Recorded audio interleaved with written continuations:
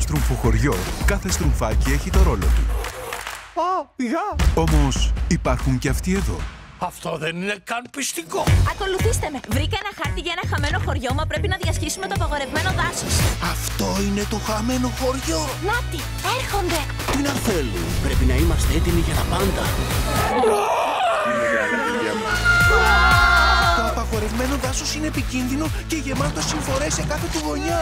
Μα τι έχουμε εδώ; Πώς πας! καλά νομίζω! Διάννα! Καλά, έχω φρικάρει εντελώς, παιδιά. Σοβαρά τώρα! Είμαι καλά!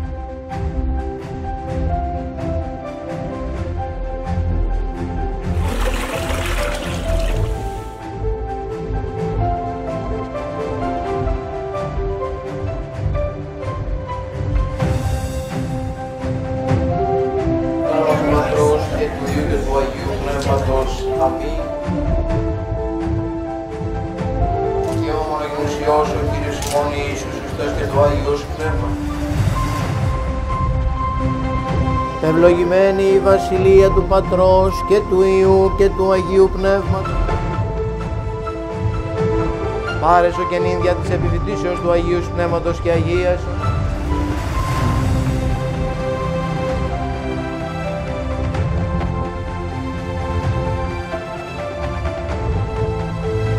Πρόσχομεν.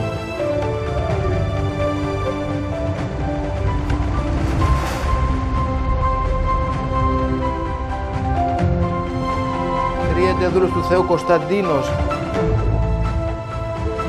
και του Ιού και του Αγίου Πνεύματος.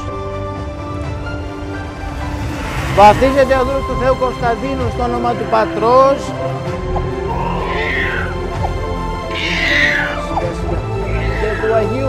Αγίου Πνεύματος. Επίσης τελειοποιήσουμε την εμφανισιά του αυτόν για το σταυρό αυτού. Βαφτίζεται ο δούλος του Θεού Αλέξανδρος στο όνομα του Πατρός. Έλα Αλέξανδρε.